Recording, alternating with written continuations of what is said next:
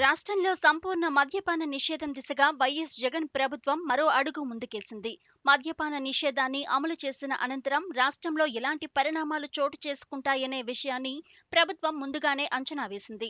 అక్రమ మద్యం ప్రవాహంలా ముంచెత్తే ప్రమాదం ఉందని భావిస్తోంది. అలాంటి పరిస్థితులు ఖచ్చితంగా తలెత్తి తీరుతాయనే నిర్ణయానికి వచ్చింది. అక్రమ మద్యం విక్రయాన్ని నిరోధించడం అక్రమ మద్యం తయారీని అరికట్టడానికి విప్లవాత్మక చర్యలను తీసుకుంది. సంపూర్ణ మద్యపానం నిషేధాన్ని అమల్లోకి తీసుకొచ్చిన తర్వాత అక్రమ మద్యాన్ని అరికట్టడానికి ప్రత్యేకంగా ఓ శాఖను ఏర్పాటు చేసింది. స్పెషల్ ఎన్ఫోర్స్మెంట్ బ్యూరో పేరుతో కొత్త శాఖను సృష్టించింది. ఈ మేరకు రెవెన్యూ శాఖ ప్రత్యేక ప్రధాన కార్యదర్శి డాక్టర్ రజత్ భార్గవ శుక్రవారం ఉత్తర్వులు జారీ చేశారు. పొరుగు రాష్ట్రాల నుంచి సరిహద్దులను దాటుకుని రాష్ట్రంలోనికి ప్రవేశించే అక్రమ మద్యాన్ని నిరోధించటం రాష్ట్రం లోపల అక్రమ మద్యం తయారీని అణచివేయటం మద్యం తయారీదారులపై ఉక్కుపాదాన్ని మోపటం వంటి చర్యలను ఈ కొత్త శాఖకు అప్పగించింది. ఈ కొత్త శాఖలో ఆరు వేల మందికి పైగా ఉద్యోగులను నియమించింది. మంజూరైన పోస్టులు అదనపు కమిషనర్లు డిప్యూటీ కమిషనర్లు జాయింట్ కమిషనర్లు constables head constables junior assistants senior అసిస్టెంట్లు డ్రైవర్లు.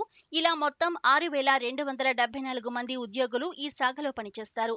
అవుట్ సోర్సింగ్ సిబ్బందిని కూడా ఈ శాఖకు కేటాయించారు. ఈ శాఖతో పాటే ఆవిర్భవించిన ఆయా ఖాళీలన్నింటినీ భర్తీ చేయడానికి ప్రభుత్వం కొత్త నియామకాలను నిర్వహిస్తుందా లేక ఇతర శాఖల నుంచి డెప్యుటేషన్ పై సర్దుబాటు చేస్తుందా అనేది స్పష్టం కావాల్సి ఉంది. ప్రారంభంలో డెప్యుటేషన్ తోనే ఉద్యోగులను కేటాయిస్తారని అంటున్నారు. ప్రస్తుతానికి ఆంధ్రప్రదేశ్ డిస్టిలేషన్ బేవరేజ్ కార్పొరేషన్ నుంచి డెబ్బై శాతం ఎక్సైజ్ శాఖ నుంచి ముప్పై శాతం ఉద్యోగులను ఈ బ్యూరోకు బదలాయించింది. భవిష్యత్తులో కూడా డెబ్బై ఈస్టు ముప్పై నిష్పత్తి ప్రకారమే ఉద్యోగులు ఈ స్పెషల్ ఎన్ఫోర్స్మెంట్ బ్యూరోలో కొనసాగుతారని ఈ ఉత్తర్వుల్లో స్పష్టం చేసింది ప్రభుత్వం. ఖాళీలను భర్తీ చేయడానికి కాలానుగుణంగా నోటిఫికేషన్లు జారీ చేస్తామని పేర్కొంది. ఇక అలాగే అక్రమ ఇసుక తవ్వకాలను కూడా ఈ బ్యూరో పరిధిలోకి తీసుకొచ్చింది. సంపూర్ణ మద్యపాన నిషేధాన్ని దశల వారీగా అమలు చేసే దిశగా ప్రభుత్వం ఇదివరకే కసరత్తు చేపట్టిన విషయం తెలిసిందే. మద్యం షాపులను తగ్గించింది. మద్యం రేట్లను డెబ్బై ఐదు శాతానికి పెంచింది. భారత్లో తయారయ్యే విదేశీ మద్యం సహా అన్ని రకాల లిక్కర్ బ్రాండ్లపైన భారీగా రేట్లను పెంచింది. మద్యాన్ని ముట్టుకుంటేనే షాక్ కొట్టేలా రేట్లను పెంచుతామంటూ